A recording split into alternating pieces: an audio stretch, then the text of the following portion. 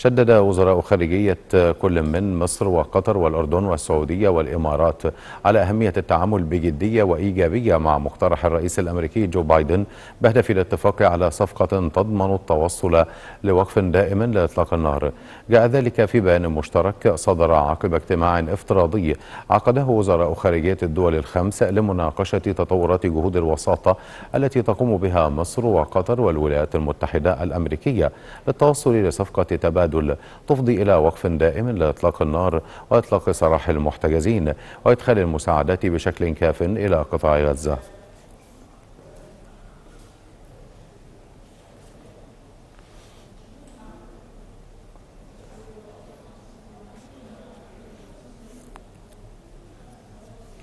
ينضم إلينا من رام الله دكتور أشرف عكا خبير العلاقات الدولية. مرحبا بك دكتور أشرف.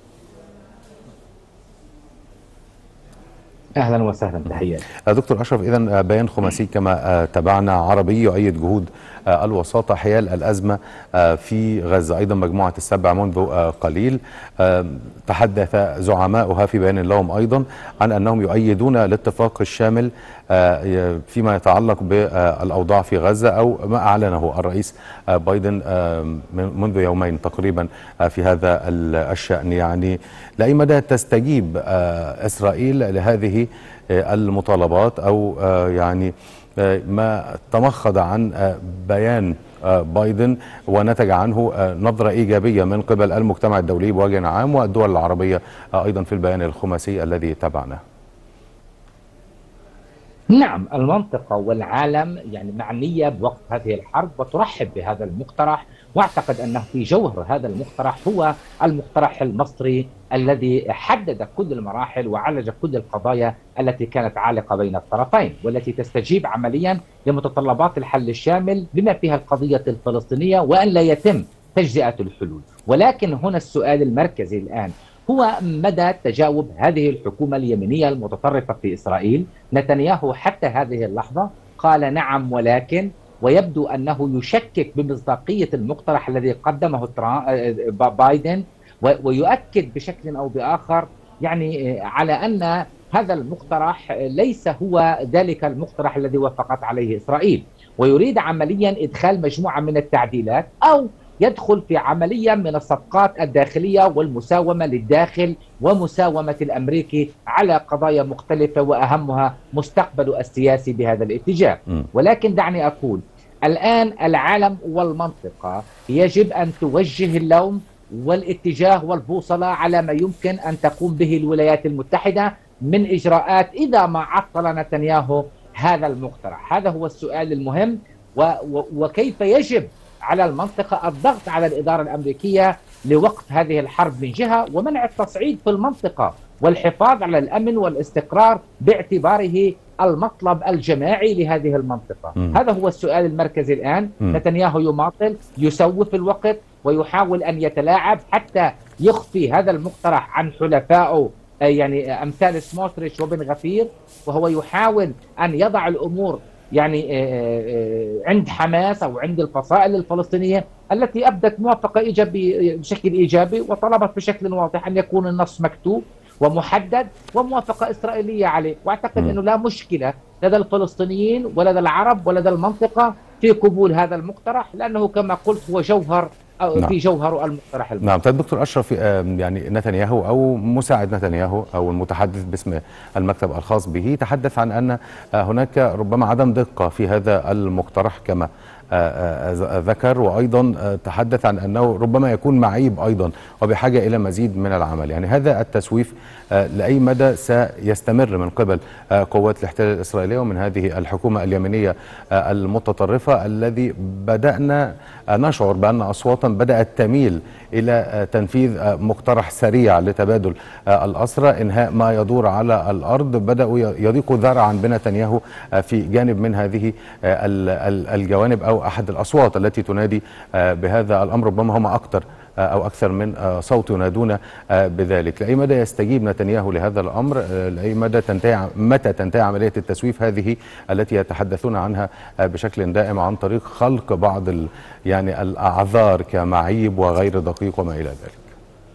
يعني كذلك يعني يحاولوا أن يوصفوا بأن هذا المقترح لقيط يعني لا أب ولا أم له. يعني وهذا مطلوب من الأمريكي أن يوضح وأن يضع الأمور يعني آه، على الطاولة لنتنياهو ولغيره. شوف أنا دعني أقول أن هناك تفاعلات داخلية في إسرائيل وهناك انقسامات وخلافات ونزاعات وهناك كما قلت في محاولة من نتنياهو أن يشكل حالة ما داخلية من خلال صفقة آه، تؤمن خروجه أو تؤمن مستقبله السياسي فيما لو قبل هذه الصفقة. ولكن دعني وأنا أؤكد على هذه المسألة. لا يعنينا في المنطق. تلك التفاعلات الداخلية خلافاتهم رأيهم مشاكلهم الداخلية يجب أن لا تعكس نفسها على هذا المقترح. لأنه وكنت أقول قبل يعني قبل أيام ما قبل مقترح بايدن وما بعد مقترح بايدن. كنت أقول يعني كيف كنا نحكي قبل السابع من أكتوبر وبعد السابع من أكتوبر. الآن الكرة ليس في ملعب الأطراف. إنما في ملعب في ملعب الإدارة الأمريكية. كيف يمكن لها أن تفعل أدوات الضغط الحقيقية والجدية وألا تظهر بأنها إدارة عاجزة ومقيدة وضعيفة ومهزوزة خاصة أن هذه الإدارة مع الكونغرس يعني بغرفتيه وبحزبيه يدعون نتنياهو إلى إلقاء كلمه أمام الكونغرس. هذا مؤشر يعني يعني بالضرورة يجب علينا أن نضع 20 علامه استفهام ولا يكون هذا الاتفاق أو هذا المقترح يعني مصيدة إسرائيلية أمريكية للمنطقة ولحماس وللشعب الفلسطيني. وبالتالي إذا وافق الفلسطينيون وافق العرب وافقت حماس وإسرائيل يعني يعني تبقى على راحتها هذا السؤال غاية في الأهمية.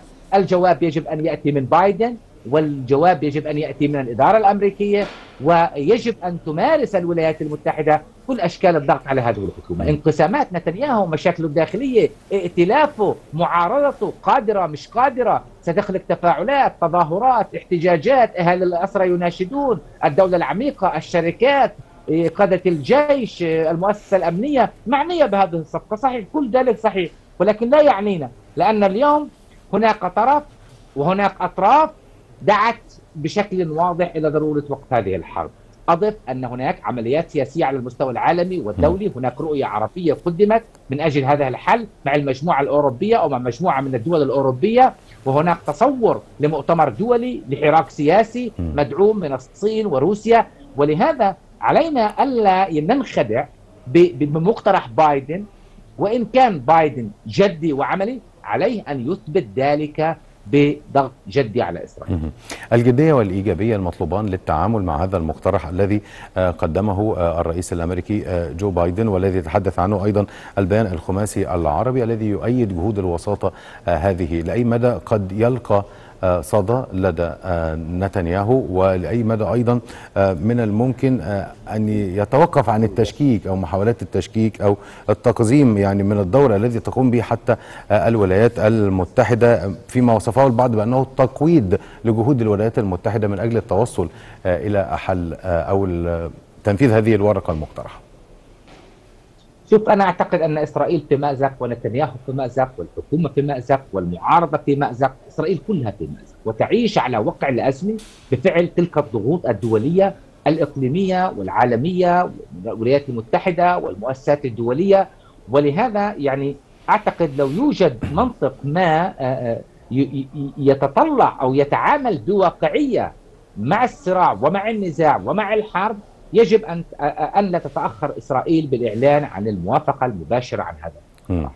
ولكن يبدو أن من يحكم إسرائيل مجموعة من المتطرفين الذين يعني ما زالوا يؤمنوا بشكل أو بآخر بعملية الإبادة والتدمير واقتلاع الشعب الفلسطيني ويلهثون يعني هناك قرات عبارة اليوم أن نتنياهو يسمى حمار المسيح أو شيء عبارة زي هيك على اعتبار أنه يعني في هناك رواية دينية ما في هناك أطروحة بالتوراة تقول أن نتنياهو هو ممر هؤلاء المتطرفين الغلاة من أجل أن يأتي أن يأتي المسيح المخلص وغير ذلك من روايات هذا نتنياهو رهين لهؤلاء ولكن يعني في ظل موقف رئيس الدولة انجاز التعبير أكثر بهذا الاتجاه وموقف المعارضة التي أكدت أنها يمكن له يمكن لها أن توفر شبكة أمان لمنع سقوط الحكومة ولمنع سقوط الائتلاف. من أجل الموافقة على هذه الصفقة م. وإنذار بيني جانتس وايزنكوت وغيرها من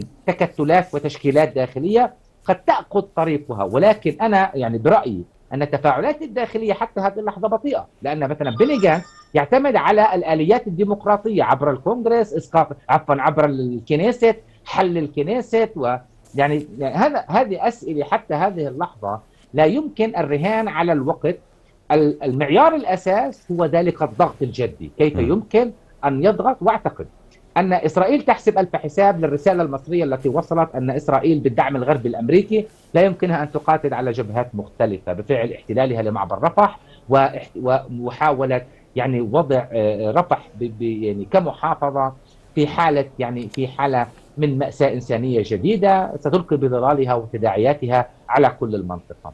أضف إلى عمليات التصعيد الجارية الآن على مستوى جبهة جنوب لبنان. طيل الأيام الماضية يبدو أن في هناك شكل مختلف من الك... من كثافة النيران وعملية الاستهداف ونوعية الاستهداف للإسرائيلي والذي بدأ اعتراف واضح اليوم أو في هناك من يقول يعني قوة الردع بمقابل حزب الله صفر لإسرائيل بتلك المنطقة. إذا الوضع الوضع العسكري الميداني معقد الوضع